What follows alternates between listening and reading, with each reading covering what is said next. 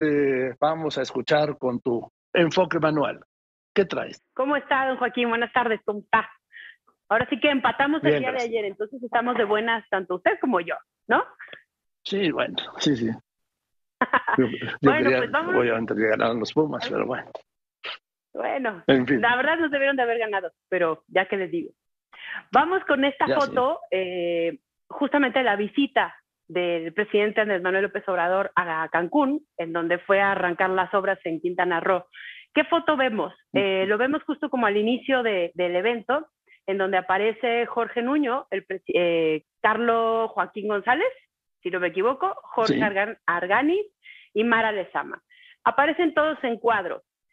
¿Qué sucede en esta foto más allá de que puedes decir, pues están empezando el evento y le van a pasar el micrófono al presidente? El presidente tiene una actitud con, de desinterés total, está con las piernas totalmente, su compás está abierto, las manos están atrás escondidas. ¿Por qué atrás escondidas?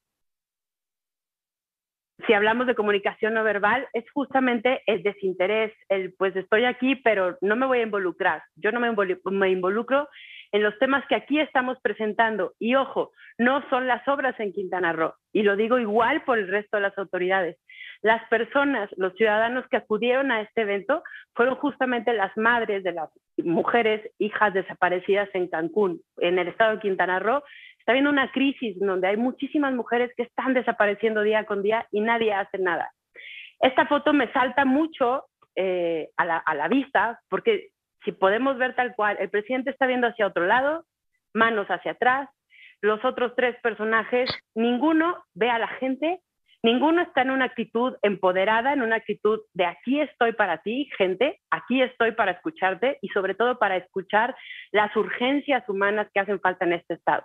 Esta fotografía para mí es muy grave en ese sentido, porque incluso en el resto del evento eh, y posteriormente cuando salen a, querer tomarse fotos o convivir con la gente, en realidad la gente lo que les hace es exigirles ¿no? este, acciones para esta crisis y ninguno de ellos hace caso, ninguno de ellos los ve a los ojos y cualquier personaje que está aquí en esta imagen está totalmente desentendido de lo que pasa en Quintana Roo.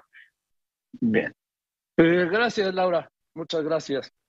Gracias a ti, Joaquín. Con su enfoque manual. Bueno, eh,